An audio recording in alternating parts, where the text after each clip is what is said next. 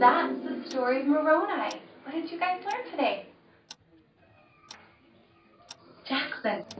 Jackson, you first week of primary.